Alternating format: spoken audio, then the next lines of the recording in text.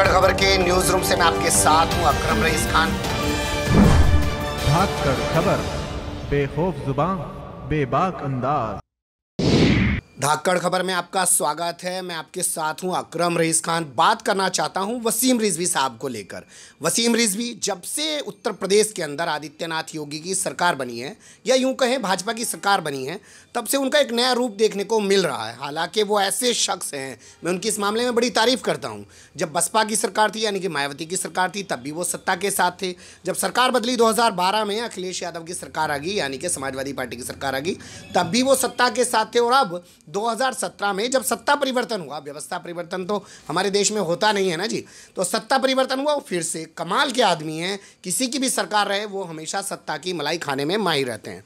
लेकिन अजीब बात इस बार ये हुई पिछली दोनों सत्ताओं के मुकाबले कि जब से यहाँ पर भाजपा की सरकार बनी उत्तर प्रदेश में, उनके नए नए रूप रोज सामने आते हैं। कभी वो जाकर सुप्रीम कोर्ट में दावा करते हैं साहब कि बाबरी मस्जिद जो है, ये तो शिया ने बनाई थी। मीर बाकी जो थे, वो बाबर के सेनापति थे, उन्होंने बनाई थी, इसलिए शियों का इस पर दावा है। कभी वो कहते हैं कि मुसलमान जो है, बाबरी मस्जिद की जो ज़मीन है, उस पर अपना दावा छोड़ रहे हैं। कभी वो डायलॉग शुरू कर देते हैं, कभी उनको ख्वाब में राम जी दिखाई देने लग जाते हैं। यानी कि कभी वो मजहबी रहनुमा बन जाते हैं, कभी राजनीतिक रहनुमा बन जाते हैं। कुछ पता नहीं होता है सुबह उठ के क्या बोल देंगे। अब उनका एक नया रूप सामने आया, जिसके बाद एक नया विवाद खड़ा हो गया। वो साहब एक फ़िल्म यूज़ रिलीज़ करने जा रहे हैं, राम जन्म भूमि जनवरी 2019 में जब सुप्रीम कोर्ट सुनवाई करेगा तो हो सकता है उसके आसपास ये फ़िल्म रिलीज़ वो कर दें। एक मिनट बहत्तर सेकंड का उन्होंने ट्रेलर रिलीज़ किया है। उस ट्रेलर को देखने के बाद बहुत सारे लोगों में गुस्सा है। उन लोगों में गुस्सा है जो इस मुल्क से, इस देश से प्यार करते हैं और इसकी गंगा जमनी तहजीब से प्यार करते हैं, क्योंकि उसमें कुछ ऐसी चीज़ें दिखाई गई हैं जिसको लेकर आपत्ति दर्ज कराई जा रही है। मुंबई के अंदर एक मुकदमा दर्ज किया जा चुका है। वसीम रिजवी के खिलाफ रजा अकेडमी है, उसने एफआईआर दर्ज की है। लेकिन मेरे साथ जो ये शख्स बैठे हैं, इनका नाम है तुराब नियाजी साहब। युवा हैं, मुस्लिम हैं। अब साहब इनको वो ट्रेलर देखने के बाद इनको लगता है, गुस्सा आया या इनको बुरा लगा और इन्होंने उठा के फ़ोन, आजकल जो ये फ़ोन हो गया ना मेरे बाबूजी कहते हैं मतलब मेरा बाप वो कहते हैं, ये फ़ोन भी एक बवाल की जड़ हो गया ना आदमी के पास होता था, ना वो किसी को धैं धैं फ़ोन करता था। जब से फ़ोन हाथ में हो गया, किसी को भी कुछ भी लिख देते हैं, किसी का भी कोई फ़ोटो वायरल करते हैं कोई वीडियो वायरल कर देते हैं, ऐसी तरीके की चीज़ें होगी इनके पास फ़ोन था, इन्होंने उठा के वसीम रिजवी को फ़ोन कर दिया और कहा कि, भाई आप ये कैसी फ़िल्म रिलीज़ कर रहे हो? अब वसीम रिजवी ने इनके खिलाफ एफआईआर दर्ज करा दी। इनके घर पर यूपी पुलिस दिल्ली के अंदर जहाँ ये ओखला में रहते हैं, वहाँ पे दै धनाधन दै धनाधन वहाँ पे अपना रेट डाल रही है। ये मिल नहीं पा रहे हैं, ये भी अपना भागे भागे घूम रहे हैं। पूरा मामला सोशल मीडिया पे इनकी तरफ़ से भी और वसीम रिजवी की तरफ़ से भी। पूरा मामला चल रहा है, उसी को समझने की कोशिश करेंगे कि क्यों इन्होंने भाई फ़ोन कर दिया। हम तो इतनी खबरें करते हैं वसीम रिजवी को लेके, कभी मैंने उनका पक्ष जानने की कोशिश नहीं की। क्यों? खुदा ना खास्ता मैं फ़ोन करूँ और वो मेरे खिलाफ एक एफ़ दर्ज करा दें कि एक पत्रकार था। हाँ पत्रकार भी ना लिखे, अपनी एफआईआर के अंदर के साहब एक फ़ोन किया और मुझे कह रहा है कि मैं अक्रम रईस खान बोल रहा हूँ, इस बारे में बताओ क्या कहना है। वो जाके एफआईआर कर दें, क्योंकि आज उनके साथ सत्ता खड़ी है। प्रदेश की भी और केंद्र की भी। उनको एक मोहरे के तौर पे यूज़ किया जा रहा है और वो भी जानते हैं कि किस लिए वो यूज़ हो रहे हैं, क्योंकि जाँच की बात हुई थी सीबीआई की। लेकिन आज की ताज़ा रिपोर्ट है कि सीबीआई जाँच तो होगी नहीं। सुन्नी सेंट्रल वक्फ बोर्ड हो, चाहे सिया वक्फ बोर्ड हो, दोनों की एसआईटी जाँच कराई जाएगी। सीबीआई जाँच से बचा लिया जाएगा। लेकिन एक चीज़ मज़े की जो है वो समझने की वो है कि साथ में जाँच कराई जा रही है सुन्नी वक्फ बोर्ड की भी। ताकि ऐसा ना लगे कि सिर्फ़ वसीम रिजवी की जाँच कराई जा रही है। डराया उनको जाए, लेकिन उनको ये भी दिखाई दे, देखो भाई, डरने की तुम्हें भी ज़रूरत नहीं, हम उनकी भी जाँच करा रहे हैं, ताकि इन पर प्रेशर बने और ये और ज़्यादा काम करें। तो हम समझेंगे तुराब न्याजी से पूरा मामला हुआ क्या। भाई, पूरा मामला हुआ क्या पूरे मामले की शुरुआत जो है, वो कहाँ से हुई, वो थोड़ा सा बताइए। 21 नवंबर को हम लोग मैंने एक, मेरे पास व्हाट्सएप पे एक वीडियो का लिंक आता है यूट्यूब लिंक, उसको मैंने ओपन किया। तो देखता हूँ कि एक राम जन्मभूमि कोई बना रहा है, वसीम रिजवी नाम का शख्स। कौन था वो, मैं नहीं जान रहा हूँ। वो उसको मैं देखता हूँ यूट्यूब के थ्रू। फिर उसके बाद उस पर मुझे बहुत बुरा लगा क्योंकि कुछ चीज़ें तो ऐसी हैं जो बिल्कुल बेबुनियाद है। इस्लाम में उसका कोई लेना देना है नहीं। जैसे जिस तरीके से उन्होंने तलाक़ का दिखाया कि किसी बात पे एकदम से तलाक हो जाता है तलाक तलाक तलाक करके जो कि ये सत्ता मोदी जी की सरकार समझाना चाहती है इस पूरे मुल्क को। दूसरी चीज़ उसके ठीक बात की क्लिप उसमें यह है कि हलाला किया जाता है जो कि इस्लाम का इस बात से भी कोई ताल्लुक़ नहीं है। जहाँ तक मैं इस्लाम को जानता हूँ। तीसरी सबसे बड़ी चीज़ उसमें यह है कि 1990 में वसीम रिजवी के मुताबिक मुसलमानों ने कार सेवकों पर गोली चलाई थी और उस वक्त के उत्तर प्रदेश में जो भी सत्ता रही सत्ता पक्ष रहा होगा उन्होंने कार सेवकों पर गोली चलाई थी। और इस सारी मूवी का मामला यही है कि इस वक्त वोटों का ध्रुवीकरण कर लिया जाए 2019 की तैयारी जाएँगे बाद में आपने वीडियो देखी। जी। फिर उसके उसके, बाद बाद मैंने वसीम रिजवी को कॉल लगाया गूगल से उनका नंबर निकाला और उसके बाद उनको कॉल लगाया। हम एक चीज़ समझना चाहता हूँ वसीम रिजवी को सच में नहीं आप जानते थे कि ये कौन से वसीम रिजवी हैं? ये कौन से वाले वसीम रिजवी ने मूवी बनाई है ये मैं नहीं जानता था। इसलिए मैंने ऑडियो के शुरू में भी आपने सुना होगा कि मैंने पूछा है अदब के साथ कि सैयद वसीम रिजवी साहब बात कर रहे हैं। तो उन्होंने हमने आपने ही मूवी बनाई है पहले मैंने कंफर्म किया है। उन्होंने कहा हाँ जी मैंने बनाई है। और उसके बाद वो सारी बातें जो है ये नहीं पता था ये शिया वक्फ बोर्ड वाले वसीम रिजवी हैं। नहीं नहीं ये पता था कि शिया वक्फ बोर्ड वाले हैं लेकिन ये नहीं पता था कि इन्होंने ही मूवी बनाई है कि नहीं बनाई है। ये अच्छा, चीज़ मैंने जी बिल्कुल। जबकि उस ट्रेलर में उनका एक रोल है मैं पहचान नहीं पाया उस वक्त। बहरहाल जो भी होता उसको मैं कॉल करता मैंने कॉल किया। आपने फिर उनको। अपना पक्ष रखा बारह मिनट तक कितने बजे की बात है? किस टाइम ये बातचीत हुई? तीन बज के बावन मिनट पे मैंने दोपहर का वक्त है। दोपहर तीन बज के बावन मिनट पे मैं उस वक्त उनको कॉल किया है। और ये बारह मिनट की बातचीत हुई, जबकि उसमें एक भी अल्फाज ऐसे नहीं हैं जो गैर संवैधानिक हो या किस पे कोई धाराएँ लगाई जा सके, जो कि पहले अपना नंबर अपने नंबर से मैंने कॉल किया, जो मेरे नाम पर रजिस्टर्ड है। अपना नाम बताया उनको, यहाँ तक बताया कि मैं दिल्ली के ओखला का रहने वाला हूँ और उनसे रिक्वेस्ट की, एक उनको बताया कि इस तरीके से आप नफ़रत ना फैलाएँ इस मुल्क में। वो साहब करते क्या हैं कि छः बजे वहाँ एक प्रेस कॉन्फ्रेंस करते हैं। जैसा कि मेरे एक पत्रकार मित्र ने मुझे बताया कि उन्होंने छः बजे सबको बुलाया है। उससे पहले उन्होंने उस बारह मिनट की ऑडियो को एडिट करके तीन मिनट चार सेकंड में बदल रखा था। अपने आपके पास कुछ ऐसा एविडेंस आया है जो आप क्लियर कह रहे हैं कि 12 मिनट आपने बात की और उन्होंने तीन मिनट बना दिया उसको? बारह मिनट की भी रिकॉर्डिंग फेसबुक पे ट्विटर पे वायरल हो रही है व्हाट्सएप पे और उनकी भी बनाई हुई रिकॉर्डिंग वायरल हो रही जो है। जो उन्होंने काट छाट के बना ली है। मतलब जहाँ जहाँ उन्हें लगा कि यहाँ आपने कुछ बोला है वो चीज़ उन्होंने एडिट करके बना दी। जी जी जो मैंने दोनों पक्ष के लिए बात कही है जो सच कहा उसको हटा दिया और जो इनके मतलब की बात थी जो कि जिससे ये नफरत कर सकें चूँकि मकसद ही इनका राजनीति का यही रहा था तो उन्होंने वो बनाया और पहले वायरल करने की कोशिश की। चूँकि इनको पता नहीं था कि कल इसका रिएक्शन क्या हो जाएगा। फिर दूसरे दिन सुबह मुझे साढ़े आठ बजे में तो आप सीधा सीधा कह रहे हैं ना आपकी फ़िल्म रिलीज़ नहीं होने देंगे आपके खिलाफ बहुत बड़ा आंदोलन चलाएँगे वो तो आप कह ही रहे हो ना उनको। बिल्कुल आंदोलन करना हमारा हक है संविधान में उनको पहले से क्या बोल पड़ रही है?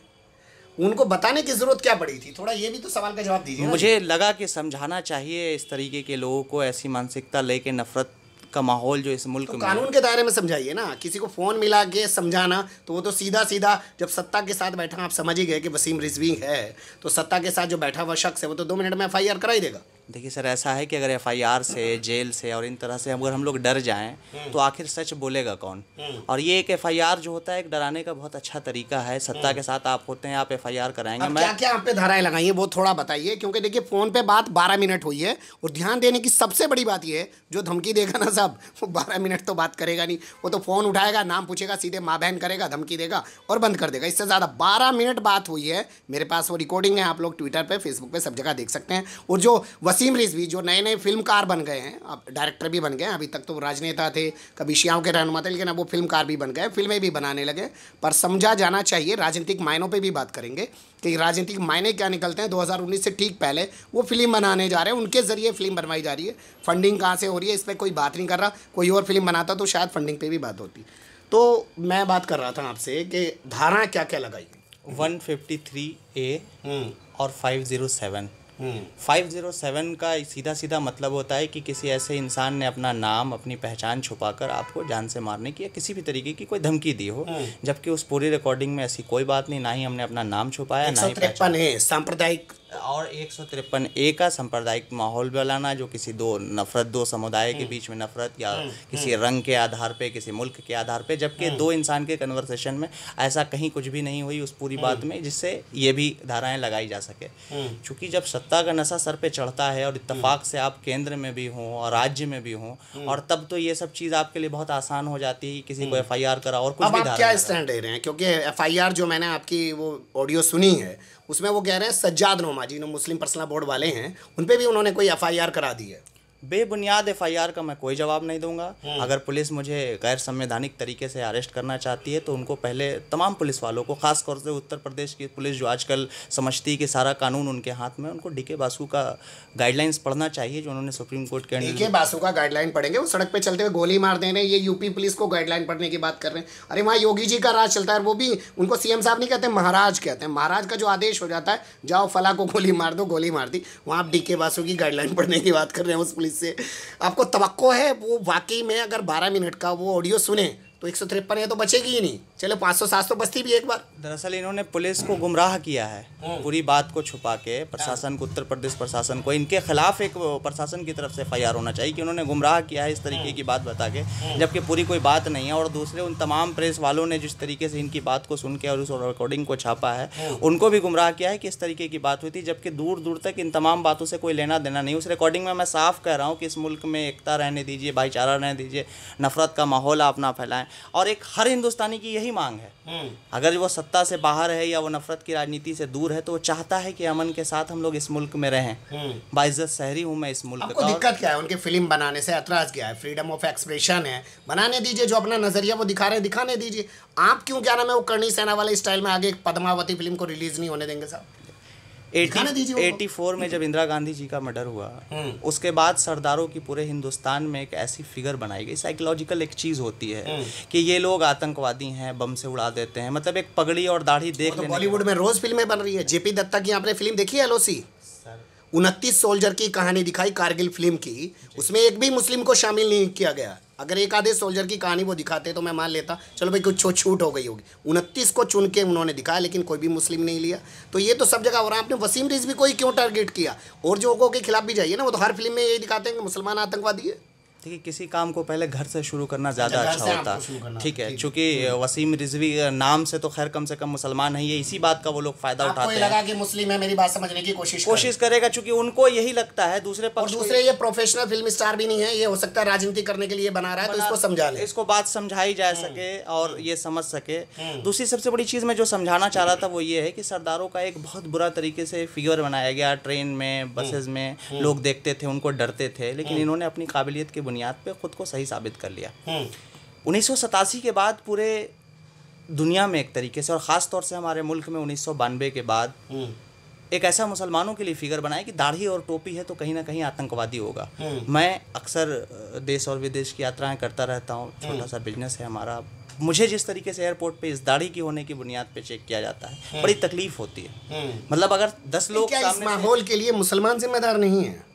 देखिए लड़ाई आज के टाइम में जिस चीज़ की आप बात कर रहे हैं वो लड़ाई बराबर की होनी चाहिए लड़ाई हो रही है मीडिया से। मीडिया पूरा परसेप्शन बना रहा है। और जब मीडिया पे भी मेरी एक बात आपको बताऊँ कि लोग मीडिया को सिर्फ़ न्यूज़ चैनल समझ रहे हैं। न्यूज़ चैनल थोड़ी है। आप सीरियल देखिए सीरियलों में कैसी इमेज पेश की जा रही है फ़िल्मों में कैसी इमेज पेश की जा रही है अखबारों में कैसी इमेज पेश की जा रही है। लेकिन मुसलमानों के पास लड़ने के लिए वही औज़ार तो होना चाहिए ना। वो कहाँ है? यही तो प्रॉब्लम है कि हमें साइकोलॉजिकल ऐसा दिखाया जा रहा है जैसे दूर दूर तक हम हैं ही अरे नहीं। तो क्या इतने मजबूर हैं कि अपनी बात को नहीं रख सकते अपने और- मीडिया हाउसेज क्यों नहीं बना सकते? भाई हाँ अपनी ये ये एक? ये एक दूसरी बात है हाँ। पहली चीज़। और दूसरा वसीम रिजवी ने जिस तरीके से उसमें तलाक में को और हलाले को पेश किया है आज के बाद इस मूवी के आ जाने के बाद पूरी दुनिया के नज़र में खासतौर से जो गैर मुस्लिम इस्लाम को नहीं जानते उनका परसेप्शन अच्छा ये बन जाएगा। वसीम रिजवी अगर मुसलमानों के बारे में कुछ गलत दिखा देंगे तो वो इतने बड़े महात्मा है लोग उसको एक्सेप्ट कर लेंगे सच दिखा प्रॉब्लम क्या होती है कि अगर कोई चीज़ मुसलमानों के खिलाफ हिंदू बोलता है तो वह सांप्रदायिक रंग लेता है और लोग भी सोचते हैं कि हाँ ठीक है या हिंदू के खिलाफ इमेज तो सभी जानते हैं ना कि भाई सत्ता की वो कर रहे हैं वो आप चूँकि सच जानते हैं तो इसलिए आप इस चीज़ को स्वीकार कर रहे हैं कि वसीम रिजवी किस तरीके का इंसान है। मगर जो लोग नहीं जानते उनके लिए सिर्फ़ नाम काफ़ी है मैं छोटा सा ये समझना चाहता हूँ।